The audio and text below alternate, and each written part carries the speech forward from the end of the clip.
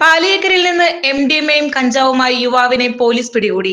നിർത്തിയിട്ട കാറിൽ നിന്നും കൊല്ലം സ്വദേശി എരവിപുരം തട്ടാമല വെളിയത്തുപുരയിടം നാൽപ്പത്തിയൊന്ന് വയസ്സുള്ള സുൽഫിക്കറിനെയാണ് തൃശൂർ സിറ്റി ഡാൻസ് ഓഫ് ടീമും പുതുക്കാട് പോലീസും ചേർന്ന് ശനിയാഴ്ച രാവിലെ പിടികൂടിയത്. ഇയാളിൽ നിന്ന് എട്ട് പോയിന്റ് നാൽപ്പത്തി അഞ്ച് ഗ്രാം എം ഡി എം എയും പത്ത് പോയിന്റ് രണ്ട് ഗ്രാം കഞ്ചാവും പിടിച്ചെടുത്തിട്ടുണ്ട്.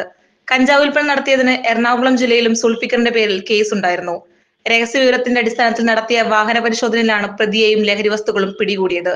Puthukkad S H O V Sajeesh Kumar Puthukkad S I N Pradeep മറ്റു എസ് ഐമാരായ K S Unnikrishnan K S Davis C P O K S Sineesh എന്നിവരടങ്ങിയ police സംഘമാണ് പ്രതിയെ പിടികൂടിയത്.